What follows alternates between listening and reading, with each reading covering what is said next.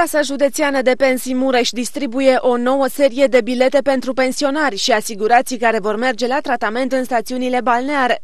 Din păcate, doar 50 de bilete vor fi puse la dispoziție, în condițiile în care numărul cererilor se apropie de 4.000.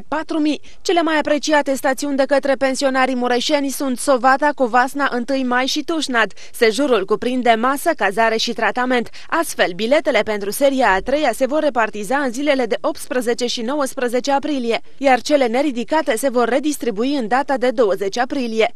Conform normelor, pensionarii și salariații plătitori de contribuții la asigurările sociale beneficiază de câte un bilet pe an de tratament în stațiunile balneoclimaterice din țară, plătind doar anumite procente din preț, iar alte categorii prevăzute expres de lege beneficiază de bilete gratuite. Pensionarii sunt încântați de posibilitatea de a pleca în stațiune pe bani puțini, mai ales că pentru un bilet achită doar jumătate din cuantumul pensiei. Pentru a putea primi un bilet de tratament, cei în drept trebuie să-și depună o cerere cu 40 de zile înainte de perioada în care doresc să plece în stațiune.